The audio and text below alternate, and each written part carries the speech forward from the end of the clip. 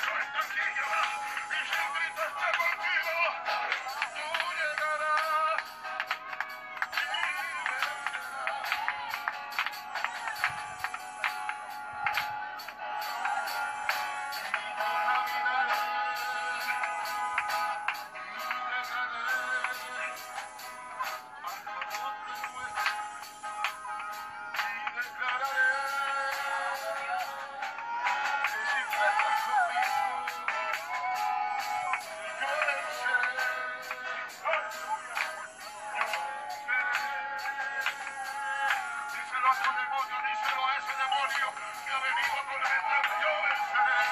a